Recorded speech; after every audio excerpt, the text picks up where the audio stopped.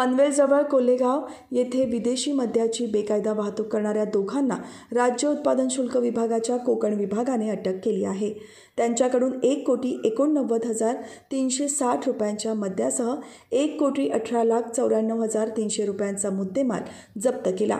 राज्य उत्पादन शुल्क विभागाने सहआयुक्त सुनील चव्हाण कोकण उपायुक्त प्रसाद सुर्वे आणि अधीक्षक डॉक्टर सांगडे यांच्या मार्गदर्शनाखाली उत्पादन शुल्क मुंबई गोवा महामार्गावर वाहनांची तपासणी केली जात होती. महामार्गावरील कल्हेगाव येथे गोवा राज्यात निर्मित आणि विक्रीसाठी परवानगी असलेला तसेच महाराष्ट्र राज्यात विक्रीस बंदी असलेला बनावट विदेशी मद्याची वाहतूक होणार असल्याची माहिती निरीक्षक दिगंबर शेवाळे यांना मिळाली होती. यानुसार राज्य उत्पादन शुल्क विभागाच्या कोकण विभागाने सापळा रचून बेकायदा विदेशी मद्याची वाहतूक करणाऱ्या राजशेखर परगी आणि खजा हुसेन हितलमनी यांना दोघांना अटक केली आहे.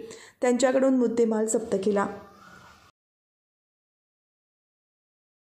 विश्वसनीय सूत्रांच्या मिळालेल्या माहितीनुसार मुंबई गोवा महामार्गावरती कालेगावजवळ छापा घालून एक कंटेनर जप्त केला आहे त्या कंटेनरमध्ये साधारणतः एकशे एक हजार पाचशे सत्तावन्न डुप्लिकेट विस्कीचे रॉयल ब्ल्यू ज्याचं नाव आहे अशा विस्कीचे बॉक्स मिळालेत. एक कोटी अठरा लाखाचा मुद्देमाल जप्त केलेला आहे. यामध्ये एक कोटीचं मद्य आहे आणि कंटेनरची किंमत अठरा लाख आहे.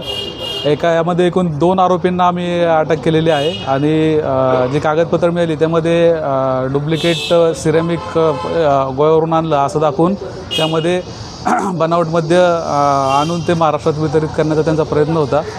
त्यामध्ये मोठ्या प्रमाणावरती बनावटमध्ये हस्तगत केलेले आहे. तपास अधिकारी श्री शेवाळे आणि त्यांचा पूर्ण स्टाफ यापुढील तपास करत आहे पनवेल आणि नवी मुंबईच्या ताज्या घडामोडींसाठी मल्हार टीव्ही न्यूज सबस्क्राईब करा आणि बेल आयकॉन दाबून रहा अपडेट.